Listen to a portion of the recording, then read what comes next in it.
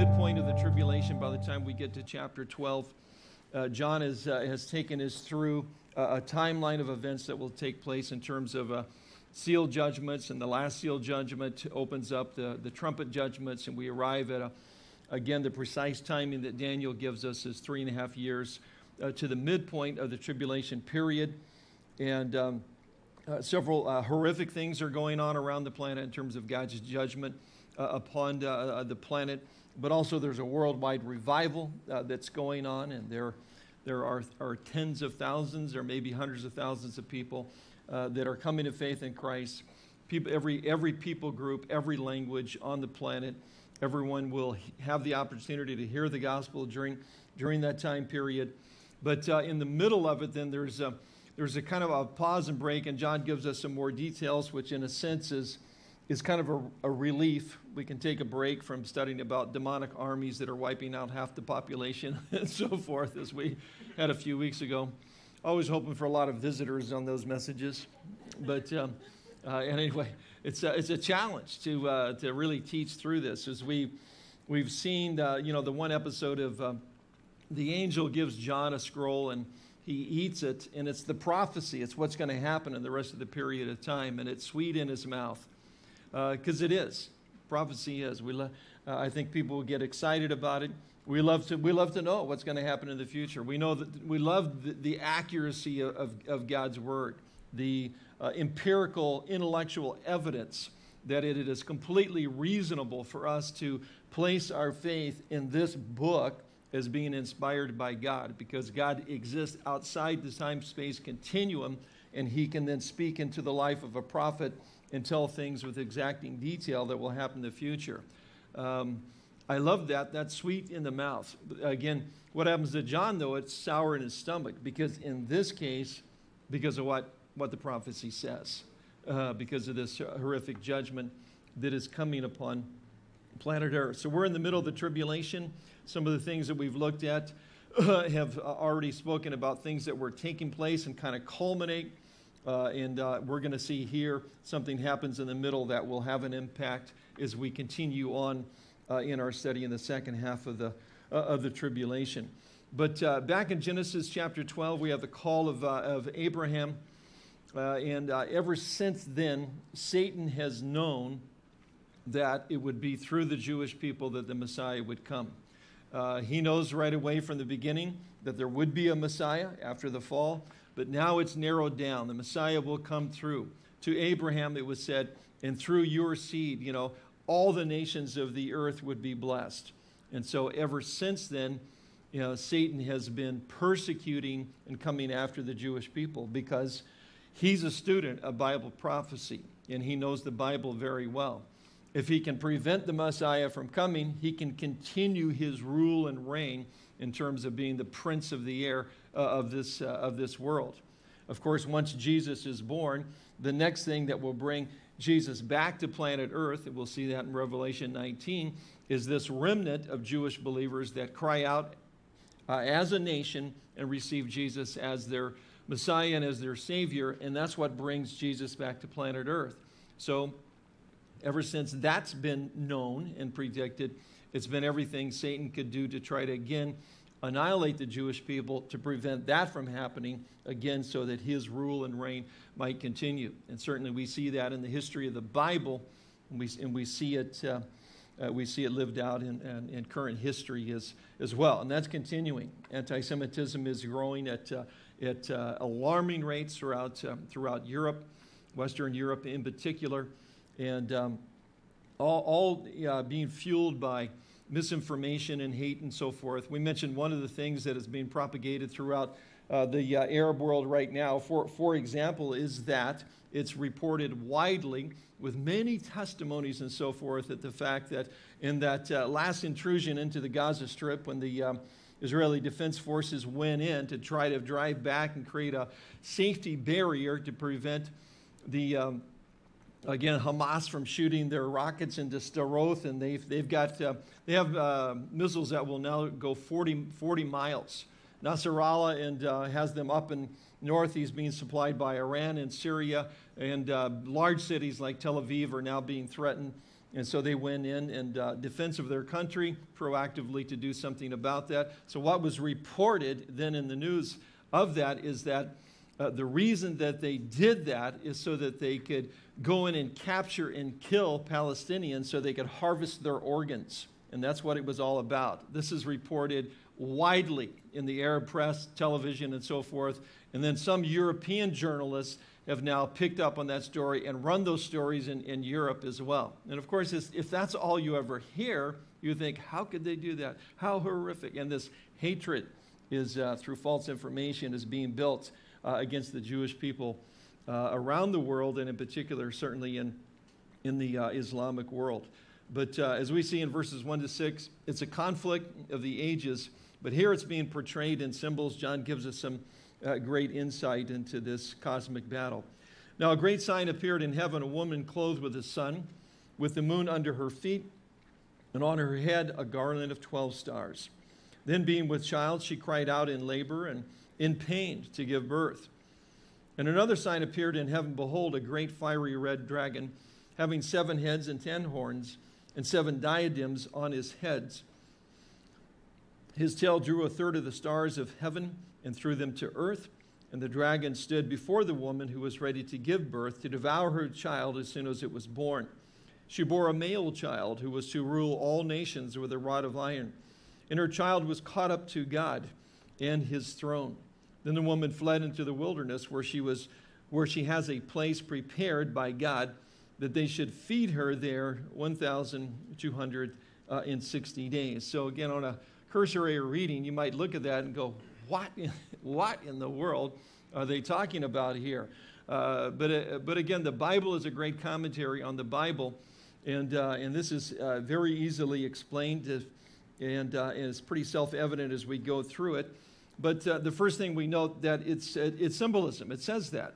Again, we try to look at the Bible as literally as possible, but when he says it's a sign, when it's a symbol, then that's, that's what it is. So these things are all a symbolic of something that is taking place or will take place uh, in the future. And the first thing we note is there, the woman who is a symbol is uh, really a, uh, is the nation of Israel. And uh, we'll see that as we look in our text. First thing we note that, uh, again, as I said, the, the woman is a great sign there in verse 1. Uh, it's the first of seven signs that will occur in the book of Revelation. We'll see that again in, in chapter 13, 15, 16, and in 19. And, uh, and so we don't try to look at this as an actual woman. We know that she is a symbol of something else. Now, interesting, the um, Roman Catholic Church in, uh, in their doctrine has uh, always portrayed this woman as being uh, the Virgin Mary. And I don't know if you've ever seen any of the artwork of her being betrayed with a garland of stars uh, over her head, shining as the sun, uh, standing on the moon, and so forth. I've seen it in statuary and then uh, stained glass windows and some of the uh, some of the artwork in churches. Again, I, I built stained glass windows for about 20 years for a living and did uh, lots of restoration with some of the Catholic churches here, and and uh, so I've probably seen a little more than than most of you. I just want to add that they were, they, were about, they were some of my best customers. They were the only ones that ever said to me, "Are you sure you are charging us enough?" they actually would said to me on more than one occasion, some of the restoration, I'd say, yes, I'm, I'm fine. They're one of the few groups that would bring me lunch too. And um, while, while we were working and stuff. Um, but uh, portrayed there because it's their understanding that this is not the nation of Israel, but actually it's, it's the Virgin Mary. Now, Mary uh, Baker Eddy, the founder of Christian Science, says she's the woman of Revelation 12 as well. And there's probably lots of other views that are, that are out there, but notice the woman is identified by her description. She's clothed with the sun. Uh, she has the moon under her feet. She has a garland of 12 stars on her head. And this is a, a direct reference to Joseph and his picture of the nation of Israel from Genesis 37 9. You remember that Joseph is given dreams of his future and he shares them. they don't go over real big with his, with his big brothers, uh, nor his father as, as well. Uh, again, verse 9 of Genesis 37 says, Of Joseph, then he dreamed still another dream, and he told it to his brothers and said, Look, I have dreamed another dream, and this time the sun, the moon, and the 11 stars bowed down to me. Now, Joseph is the 12th son of Israel, so he would be the 12th star. So he told it to his father and his brothers, and his father rebuked him and said to him, What is this dream that you have dreamed? Shall your mother and I and your brothers indeed come to bow down to the earth before you?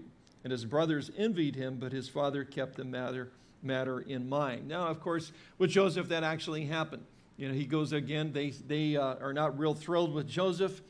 He seems to get uh, special attention from their father. They throw him into a pit. He's sold into slavery. He's taken to Egypt. He's in Potiphar's house. He's uh, accused of a false crime of raping Potiphar's wife. He's thrown into prison. He happens to be there next, just happens to be there next to the, as uh, someone said on a test that I was scoring one time at Genesis, the butcher, the baker, and the candlestick maker. That is not who he was in prison with, but he did uh, interpret the dreams of the, uh, of the, uh, uh, the person in charge of giving wine to, to Pharaoh, uh, as well as the baker and so forth. And, and then eventually, through those dreams and that interpretation, Pharaoh has other dreams. They send for Joseph. He interprets the dream, becomes the prime minister of the nation of Israel, and his father and mother and his brothers come and eventually bow down to him. The dream that God gave him was, was true. But it's a direct reference not to Mary Baker Eddy or, or the Virgin Mary. This is a direct reference. This image is the nation of Israel. It's a symbol, and it's a symbol of the nation of Israel. Notice what's happening to the woman or the nation of Israel. She is in labor pains, her cries of labor pain, and certainly at the at the birth of Jesus Christ. He's the child. Uh, they were living under the heel of the Roman Empire, a military state, and, and uh, it was a very difficult time for their existence. The fourth thing is a woman's child will rule the nations. And uh, notice the, uh, I think the uh, translators get it correctly, giving a capital C to child. He is the Messiah who would come and rule the nations with a rod of iron. Again, that's a direct reference to Psalm 2, speaking about the Messiah. When he comes, God says, I will declare the decree. The Lord has said to me, You are my son. Today I have begotten you. Ask of me, and I will give you the nations for your inheritance, and the ends of the earth for your possession. You shall break or rule them with a rod of iron. You shall dash them to pieces like a potter's vessel. So, again, if we just let the Bible speak for itself, it's easy to identify the woman as the nation of Israel. She's a sign, a great sign, uh, and the child uh, who will rule the nations with a rod of iron, who will be caught up to the throne of God, easy to identify as the, uh, as the Messiah. And yet again, a shepherd carries a, carries a staff with which he guides the sheep, and he carries a rod. And the rod is for correction. So that's always a symbol of correction and judgment. Uh, the fifth thing, the woman's child ascends to heaven. Same word, interesting, for John uses for the rapture of the church to seize, to rescue from, from, uh, from danger. And so there's not a lot said. Again, the emphasis is not on uh, uh, uh Jesus uh, per se. It's on what's going on with the nation of Israel because it was through Israel that the Messiah came, and what's going on with the fiery red dragon, who is not the good guy in the story, by the way, that again, he is representative of Satan. And, and, and why is there this cosmic battle? Why is there so much anti Semitism in the world? And what will happen to the Jewish people in the future? Um, that really has everything to do with what uh, is in the book of Revelation. And we're going to get some insights uh, into that in just a moment. But the child, the Messiah, Jesus, is caught up to God uh, in his throne. So, uh, very easy to identify the child. There's a dragon again, who's a picture of Satan. Revelation, again, 12 9 makes that very clear. The color red is associated with death already in chapter 6. And, um, and Jesus tells us Satan is a, a, a murderer. And the point in terms of his being fiery red is, is Satan at this point is seen in, in, uh, in all of his, what we might say, his fierceness. Uh, the seven head, heads, the ten horns, represent the, the uh, form of the last world uh, empire. And, uh, and we'll talk about that more in, uh, in future studies. I don't want to digress too much uh, on that. But again, that same description is used of the Antichrist in chapter 13. We'll see that next week. And then in chapter 17, uh, it's used of the false prophet uh, again. And there in chapter 17, the description or those symbols are explained. but it's talking about his world dominion, his world rule. And he has these diadems, these crowns, meaning he has conquered. And uh, we know that during that tribulation period that is still yet, yet future, there will be the Antichrist that will be the final world ruler. And we used to uh, speculate into what that would look like uh, in terms of a revived Roman Empire. We use various names. Now we just say it's the European Union. We don't have to speculate to uh, where it will come from, what it will look like. Uh, we, we, are, we live in, in those, those days of its uh, existence. And, uh, and of course, there'll be uh, Satan is the other part of the unholy trinity. He is energizing, giving his power to the Antichrist. And then in chapter 17, we're introduced to the false prophet, who again is running the show in terms of this last world um, uh, religion that, that will exist. So, any anytime you have major world religions that for a number of years were in, in absolute opposition to each other, and now we live in a time when there seems to be a growing cooperation among them, and this concept that we can all get along if we believe that there's many roads that lead to God and so forth. And again, we live in those days.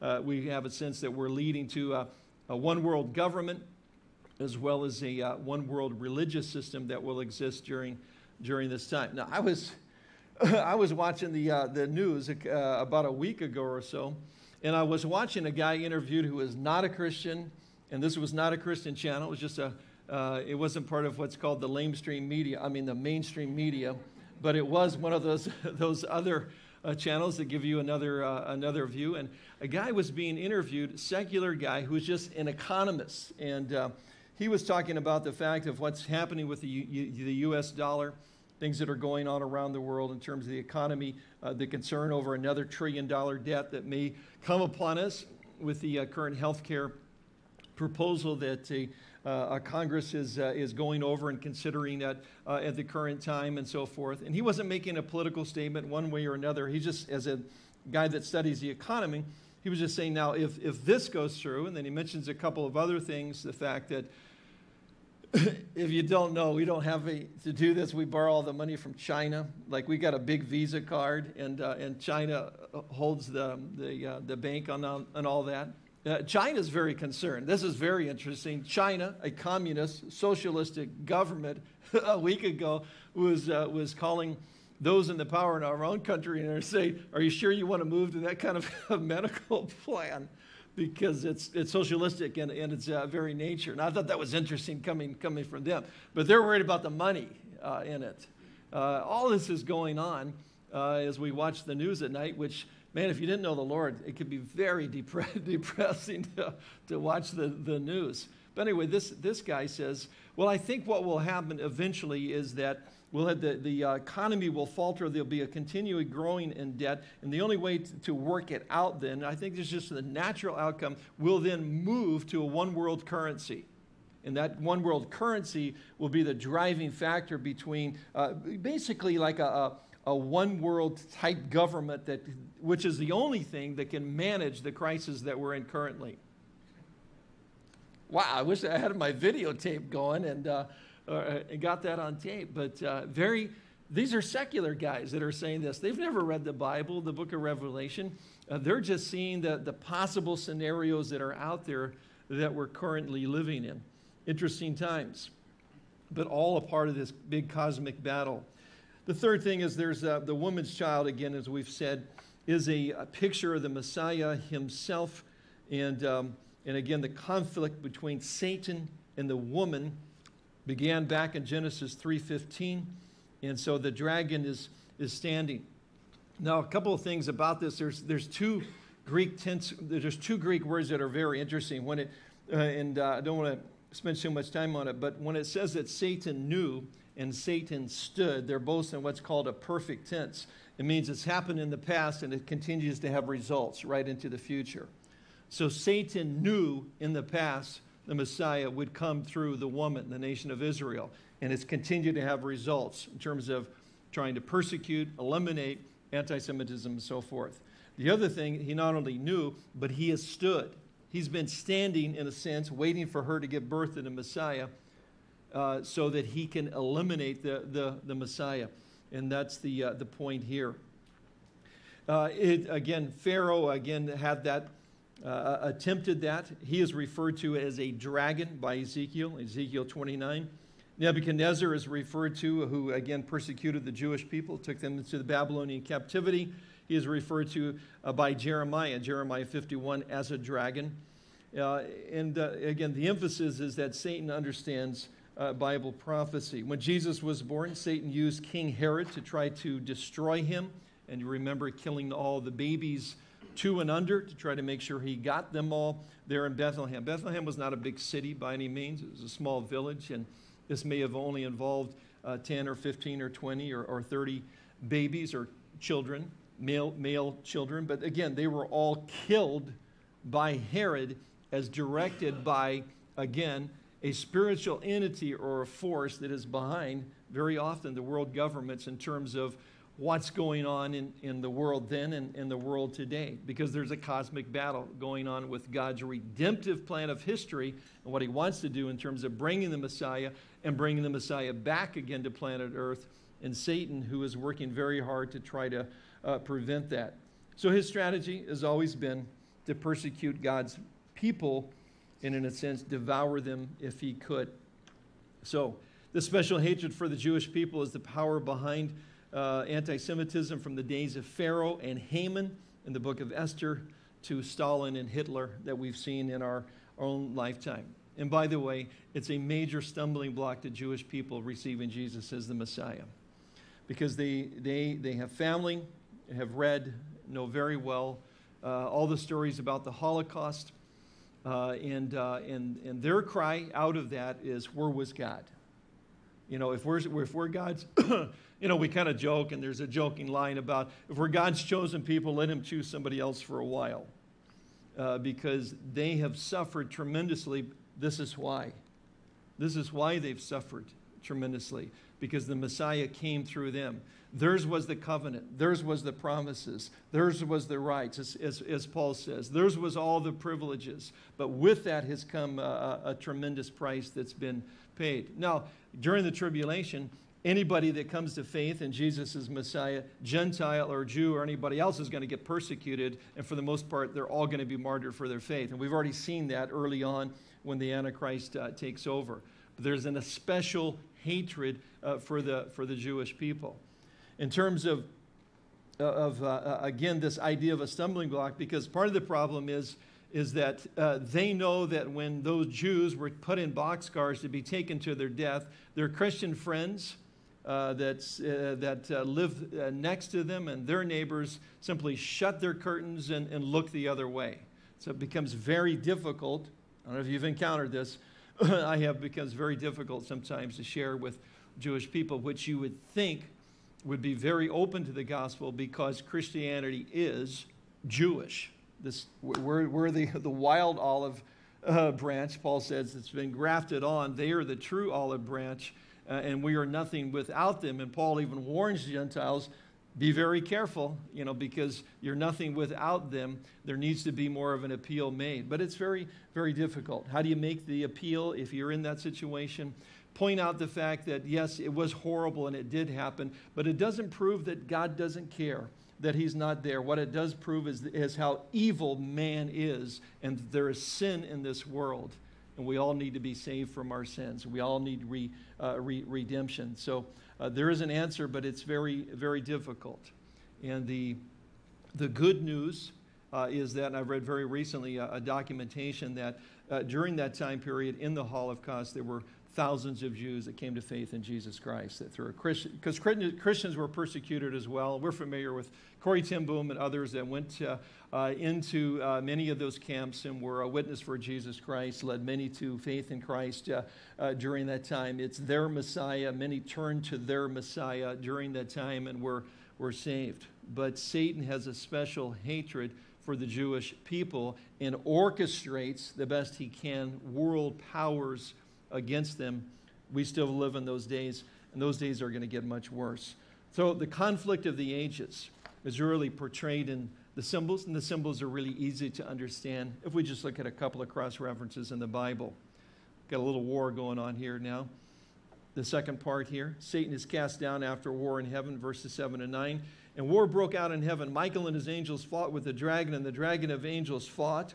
But they did not prevail, nor was a place found for them in heaven any longer. So the great dragon was cast out, that serpent of old, called the devil and Satan, who deceives the whole world. He was cast to the earth, and his angels were cast out with him. I want to see this on film. a cosmic battle of God's holy angels fighting against Satan and his, his fallen angels. Uh, and Michael, again, who we see in Scripture is, is, is connected continually to the nation of Israel, intervenes uh, and uh, has greater power. Uh, and Satan is finally cast out of heaven and he is finally cast down. Again, notice the fiery red color meant to reveal his character. Again, it was Jesus that said he is a murderer from the beginning. Paul says in 2 Corinthians that he is the God of this age. In Ephesians 2 2 calls him the prince of the power of the air, the spirit who now works in the sons uh, of disobedience. So, again, in terms of the celestial conflict, what, it's, what is it all about? Well, uh, it, again, it's very significant that Michael is involved. I think it has everything to do with the nation of, uh, of Israel. But one of the things that uh, is brought out by uh, David Hocking in his book, The Coming World Leader, and the coming world leader is Jesus Christ. He's the one that's, that we're looking to to come.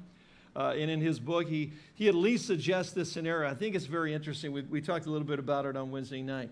Now, keep in mind that Satan had to be cast out of heaven because he still has access there. We read in the book of Job that uh, Satan has access to, uh, to heaven, to God, and he is there uh, as the accuser of the brethren. And, um, and we probably give him a few things to accuse us for along, along the way. And, uh, and he is there accusing us uh, before God's throne.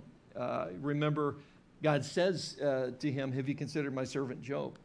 And of course, Satan's response was basically, uh, a paraphrase, yeah, I've been stalking him for a number of years and watching him very carefully, and I know exactly how to get to him. You let me get to him in this area, and he'll never worship you again. That's what Paul says in Ephesians 6 that God has a very particular, specific scheme against every one of us. He watches and he waits, and he's very patient.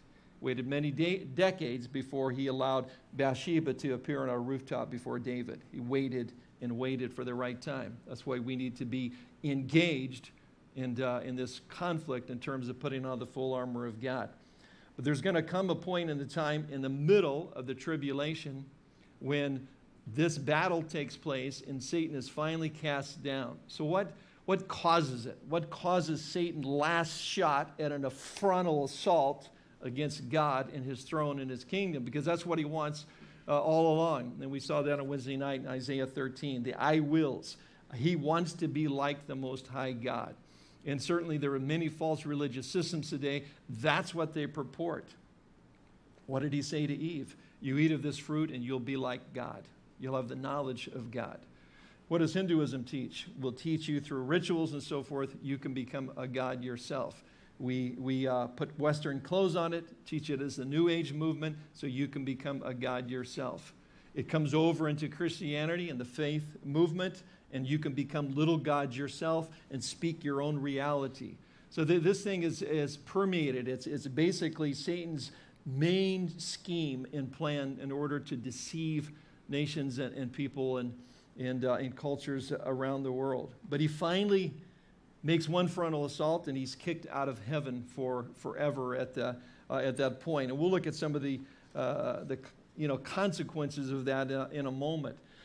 But what uh, Dr. Hocking suggests is the fact that um, we don't often think of it. I've never thought of it or picture of it. We know that all of us will stand before Christ, Bema seat one day. We'll never stand before the great white throne of judgment. Uh, but if we've come to faith in Jesus Christ, we're saved, thoroughly saved by His grace and His grace uh, alone. And, uh, and we'll stand before Christ, though, and give an account for our lives. Again, that Bema seat is the seat at the Olympics where the rewards, you know, first place, second place, those, that thing those guys are standing on, uh, you know, in the Olympic ceremony when they raise those flags and play the national anthem, that is the Bema seat. That's the, the word there. We'll, we'll stand there one day before uh, Christ to be rewarded or, or, not rewarded for how we've uh, lived our lives here on planet Earth and dealt with the what we call the time, talent, and treasures that He's uh, entrusted us to. Now, I understand all that and that, and that image and everything. And, and of course, we all want to hear the Lord at that point say, Enter now, my good and faithful servant. Uh, you've been you know, faithful with a few things, I'll now make you ruler over many. Uh, but at the same time, I never thought about the fact that Satan would be standing there watching all this and accusing us and saying they don't deserve it. He doesn't deserve that. She doesn't deserve that. The accuser of the brethren. Again, the rapture of the church, right? We're in, we're in heaven. This is midpoint in the tribulation. Satan still has access there. Never really, I didn't really picture that in my mind before. But, but uh, what uh, uh, David suggests anyway is that it could be that this just drives Satan crazy because he knows this as well as God knows this. And he can't really comprehend God's grace. He really can't comprehend God's, uh, God's love. Uh, and it may be the fact that in the end, when it's all said, and when God then presents us, the church, and we know from Scripture, uh, it's without spot, it's without, blemish, it's without wrinkle. He presents us perfect because of his righteousness that he's given to us. It could be just like too much for Satan. He goes, This is it. I'm just frontal, frontal attack. I can't, I can't stand it uh, any longer. Uh, that's at least one suggestion is what uh, brings this, this war in heaven uh, that we see here uh, all about and, and, begins it. But whatever starts it, it ends with the war, uh, concludes with, with the dragon or Satan being, being cast out of heaven. And notice he took a third of the angels with him. And again, uh, they are spoken of as stars, which is very consistent. We've seen that from the beginning uh, of chapter, chapter 1. So there's a conflict of the angels. It's portrayed in symbols, and we're kind of told about that. And then there's a little bit of a parenthesis here in what John is explaining. And he says, and oh, yeah, you need to know this too. Satan is cast out of heaven, and there's some consequences to that we're going to look at now. But he'll get back to, okay, what happens uh, in terms of this uh, this persecution against the Jewish people. But the next thing, the consequences, verses 10 to 12, notice he says, Then I heard a loud voice saying in heaven, Now salvation and strength and the kingdom of our God and the power of his Christ has come, for the accuser of our brethren who accused them before our God day and night has been cast down. And they overcame him by the blood of the Lamb and by the word of their testimony. And they did, not love their lives to death. Therefore rejoice, O heavens and you who dwell in them. Woe to the inhabitants of the earth and the sea, for the devil has come down to you, having great wrath, because he knows that he has a short time. So there's some real, pretty heavy consequences to, to in the middle of the tribulation, Satan and a third of his fallen angels being now cast uh, to, to planet Earth. And the first thing we notice is that um, consequences are seen in God's kingdom uh, there's a few people in heaven going, It's about time. and apparently they're kind of rejoicing. Now salvation has come, God's kingdom has come. Because uh, because uh, they finally got this guy out of there. This thing is coming to a culmination, it's coming to an end. Satan knows he's only got three and a half years less left, again, because he's a student of Bible prophecy. But uh, all of those in heaven know it as well, and they're, they're rejoicing. And, uh, and again, this is all an answer to when Jesus taught us to pray, he said, Pray this uh, Our Father who art in heaven, thy kingdom come and thy will be done, both here on earth as it is in heaven. That's what's about ready to happen. Every time you've prayed that prayer, you're praying for Jesus Christ, Revelation 19, to come back and establish his kingdom here, uh, here on the earth. And heaven is rejoicing at this point. Consequences are also seen uh, in, in the church because we're told how the church who is in heaven at this time, as we've mentioned, how they overcame Satan. They overcame him by the blood of the Lamb, by the word of their testimony, not loving their lives uh, more than God. That will be declared about us in heaven. Church, the church, church around the world, we don't always get along too well at times, but uh, but when, but that's not the end of the story. Uh, when we're in heaven, uh, it'll be a whole different thing. That's when we'll be seen, again, without spot or wrinkle or any blemish uh, at all. And what will be said about us is that the way that we overcame Satan in this life was by the blood of the Lamb. What does that mean? It means that Christ did everything to purchase our salvation, and we did nothing. It was all by His grace and His grace alone. It wasn't a ritual. It wasn't because you were baptized. It wasn't because you did this or that or ever uh, taught a Bible class or, or ever did a thing for the Lord. It was all because of what He has done for us. Because sin left us separated from God. Uh, and it was only the blood of, of God Himself that could save all of mankind. One man might die for another man, but only one man could die for all mankind, and it was God Himself, Jesus. They overcame Him by the blood and by the word of their testimony. Well, what's the word of our testimony? Well, that's when we talk about our failures and His faithfulness.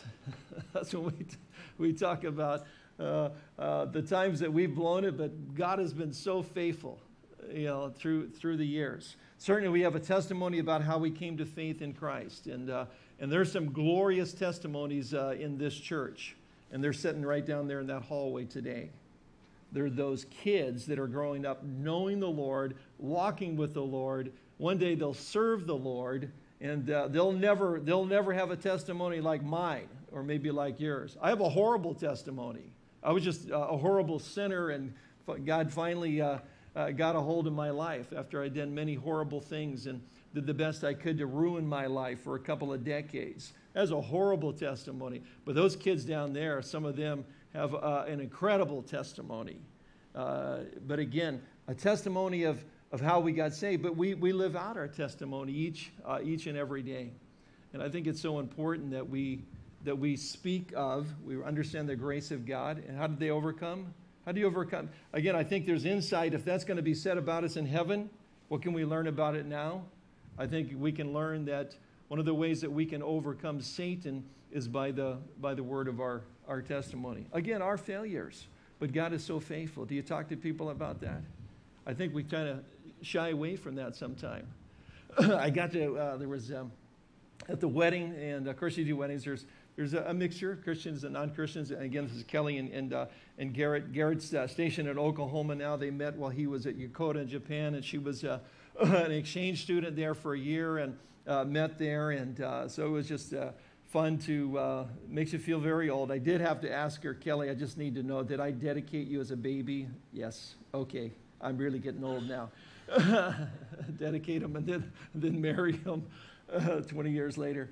But uh, it, was, it was a great time. There's always the non believers there. And the guy that was doing the photography uh, works at Yokota, but he's like a Japanese national and uh, a professional photographer. So they, he came over to do the pictures and got to share my horrible testimony with him that was full of how faithful God was and his grace and to maybe help him understand why do we get excited about God? Why do we celebrate? Why do we worship? Because of his, his faithfulness. It's so uh, so important. I wish I could tell you it was, it was I always take advantage of those opportunities, but you know, we, we don't always. But apparently, it's one of the ways, it's one of the ways that we overcome the enemy uh, in terms of living our lives for, uh, for Christ. I have to, how am I doing? I'll tell you another real quick story, though. It doesn't always go that well. I remember one time when I was coaching baseball, we had uh, kids, and I had a gal that was the team mom who was uh, just fantastic. Know, she'd feed the kids, take care of them, do all this stuff. And, and uh, we were, uh, uh, and half my kids were from Kailua, half were from Waimanalo. Most of my practices are down there. Most of our games were down there when we weren't on the road. And I, I had uh, typically uh, 15 kids. I'd have two that had a mom and dad or at home. Uh, I'd have four or six that were being raised by grandparents because many of them had been killed in drug-related car accidents. I mean, you, you, get to see what's going on and why there's so many angry young, young men out there in the world today. And we did the best we could working with them for a, a number, of, uh, number of years. But one kid in particular was just a bully, and he just kept picking on one, a couple of the other uh, smaller kids, and that just totally, uh, totally irked me. That was the only fights I ever got into in, in elementary school. That was those kind of things. And uh, I finally, um, I finally grabbed it it's not a good coaching method. But I finally grabbed, I was furious. I had taken this kid aside. I talked to him. I'd done timeouts. I'd made him run laps. I'd made him done push-ups. I'd benched him. I'd done a lot of things up to this point. I'm just trying to, I'm trying to justify my actions here, but just fill you in a little bit. But he, he finally did something to one of these kids that I just couldn't take it anymore. And I grabbed him by the, by the shirt and, and uh, lifted him off the ground. It's a little easier. You know, it's tough if they're 15, but when they're 10, you can still do that. And um, I said something about removing his head from his shoulders if he ever did that uh, uh again, and tried to say it with enough force that he would believe me, because I knew this kid had trouble believing anything adults said, because he'd been lied to many times. So I tried to emphasize the truth of this uh, and put him back down on the ground again, and still had him run some laps. And then the the team mom, who is not a Christian, knows that I'm a pastor, came over to me and said, Oh, Pastor Tim, oh, I never knew you talk like that. She goes, Oh, wow, you're just like all of us. Okay. Well, that was kind of okay, but it wasn't okay. Uh, because I am like everybody else. You're like everybody else, man. We still have a sin nature, we still blow it. And somehow at that point, I don't, rec- I don't recommend this, but I, I could then begin to talk to her that, yes, I, I, I'm a failure at times, but God is faithful. You know, our testimony is not just the glorious things we do for the Lord. We call that a bragamony. And, uh, and what overcomes the enemy is actually a testimony. Not only how we get saved in His grace, but how His grace sustains us. And, uh, and apparently, that's going to be said about us in heaven. Uh, I think it's probably a key to helping us overcome uh, the enemy even, even today. The last one is a tough one that we love God more than our, our own lives. Did you notice that? Jesus put it this way in, in Mark 8 34. Then he called the crowd to him along with his disciples and said, If anyone would come after me, he must deny himself and take up his cross and follow me. For whoever wants to save his life will lose it, but whoever loses his life for me and for the gospel will save it. What good is it for a man to gain the whole world and yet forfeits his, his soul? Those can sound like harsh words unless you understand who it is that's calling you. Remember, Jesus is saying, This is what you need to do, but it's for me. It's for me, and it's for the gospel. I've talked to uh, more, than a, more than a couple of, uh, of, of young guys in the military, and I've asked them about leadership and how things are going, and how things are being modeled, and whether it's good or bad or hard or whatever. And, uh, and sometimes you, when you get the, uh, the yeah, yeah, it's good. I, I've, we've got great leadership. And, uh, and, uh, I, and then you hear this phrase, I'd follow that guy anywhere. That's what Jesus is saying here. You know, in other words, if there's the integrity uh, of what it's all about and the character, would you follow him? And Jesus saying, would you just check me out here? I think if you will evaluate things, if you think you can do it on your own and still keep it together, you're going to lose it. But if you'll actually come to me and lay it down and live for me and for the gospel, then your, your life's going to be saved. Besides that, what are you living for anyway? What profits a man to gain the whole world, yet forfeits his own soul? It's a hallmark. It's a benchmark. When you went as a Christian, you get to the point where you, where you say, well, Jesus, wherever you go, I'm going to follow. Whatever you say, I'm, I'm going to do.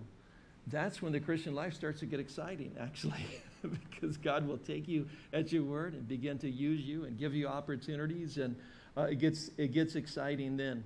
But those are consequences that are seen in heaven, spoken of by the church, and I think we can learn something of uh, this morning. Third thing, the consequences are seen in God's warning, and it's that woe, that woe word that uh, we've already seen uh, mentioned uh, earlier.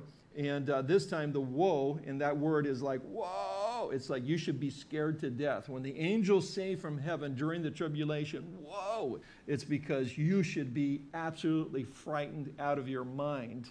And that word is used again here because Satan is now cast down with a third of the angels, and he's just a little bit ticked and, uh, and uh, it's going to be it's going to be seen. The consequences of the war in heaven will now be seen uh, on earth. The fourth thing, uh, it's the birth of the child that brings persecution to Israel. A little bit of a reiteration, but again, kind of the continuing of the story that we began in the first section of the text, verse 13 to 17. Now, when the dragon saw that he had been cast to the earth, he persecuted the woman who gave birth to the male child. But the woman was given two wings of a great eagle that she might fly into the wilderness to her place where she is nourished for a time, times and a half time, again, that three and a half years, from the presence of the serpent. So the serpent spewed water out of his mouth like a flood after the woman, that he might cause her to be carried away by the flood. But the earth helped the woman, and the earth opened its mouth and swallowed up the flood, which the dragon had spewed out of his mouth.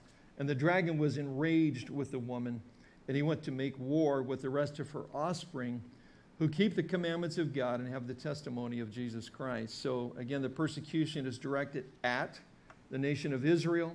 Uh, again, the woman is persecuted by Satan. Why? Because she gives birth to the Messiah.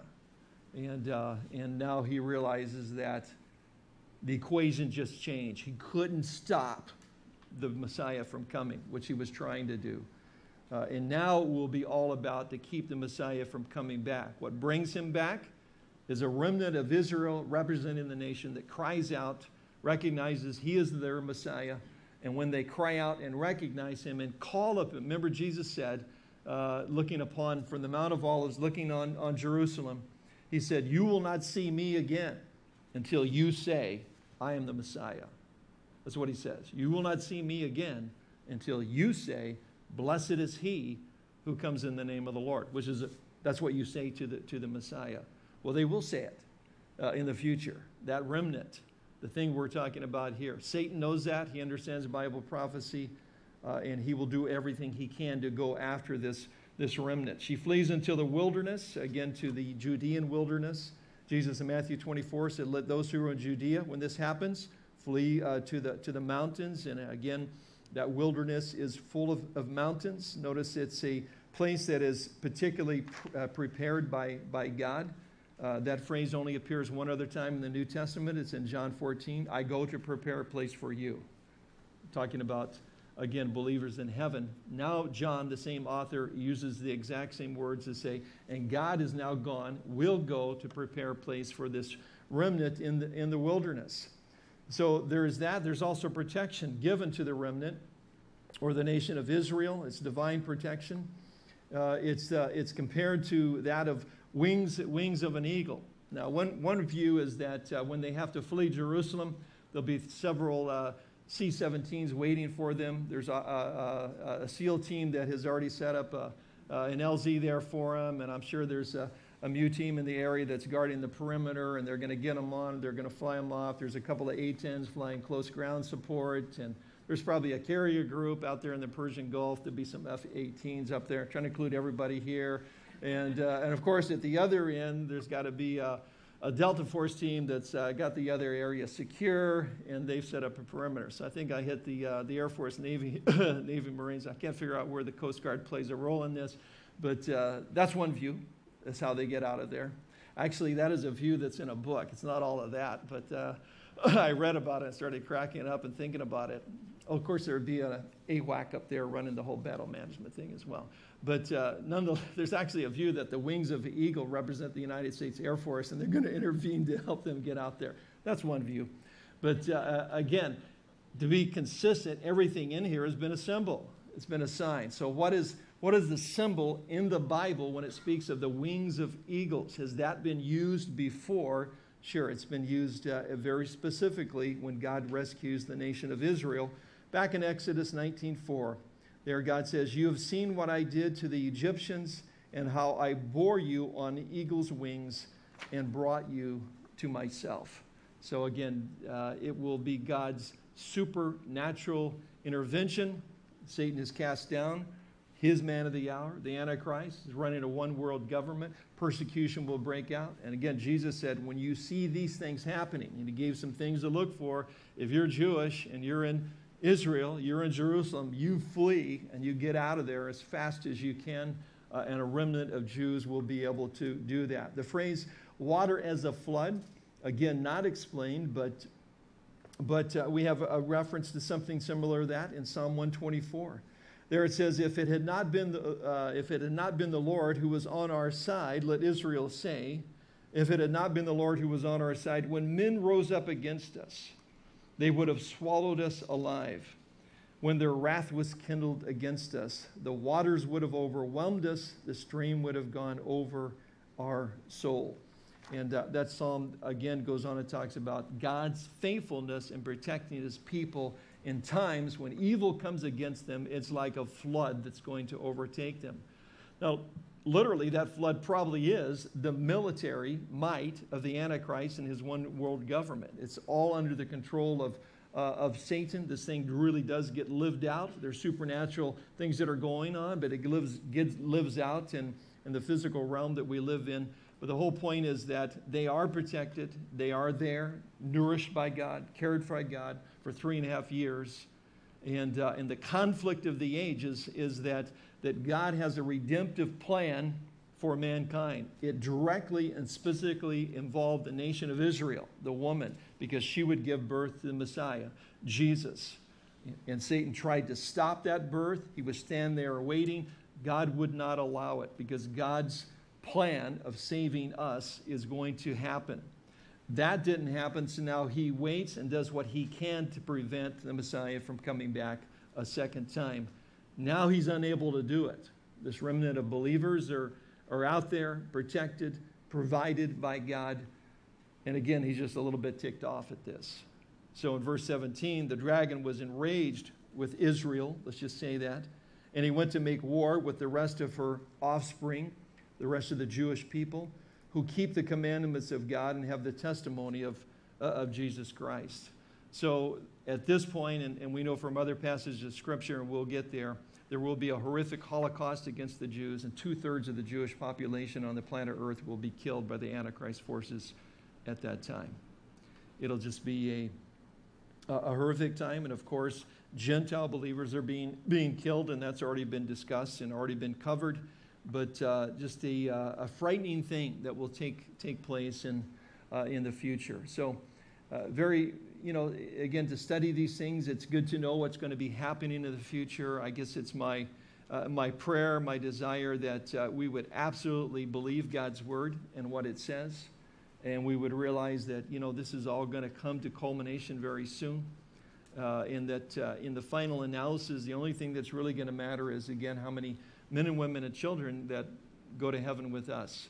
Uh, I'm hoping that it'll, that, uh, it'll uh, affect us, affect our prayer life, uh, affect how we might share our testimonies uh, with others and look for those opportunities, look for the opportunities to uh, share the, the gospel with others.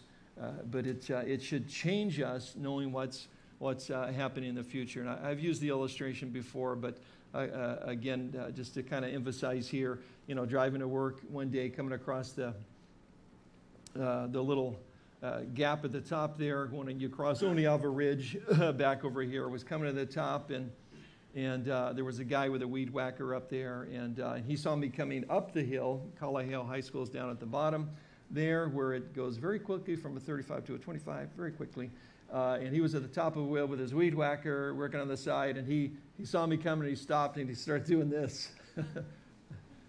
he was prophesying. From his vantage point, he could look into my future and tell me what was coming if I understood the symbolism. I did. I looked at my speedometer very closely, and, and sure enough, I needed to slow down just a little as I came across the crest of that hill and then down onto the bottom. Sure enough, there was a, a guy down there with one of those things that looks like a, a black hair, hair dryer with no cord on it, and he was uh, down there doing that. And, uh, and what he said to me about the future changed my behavior. I kind of rechecked the dial to see where I was at. Uh, and I was really glad that I did, because there would have been consequences, you know, had I, had I not. And I think certainly that's one of the reasons that God tells us and says, I can stand in a place and see, and I want you to know what's coming ahead. And of course, it's, I think it's his desire that we'd be changed as a result.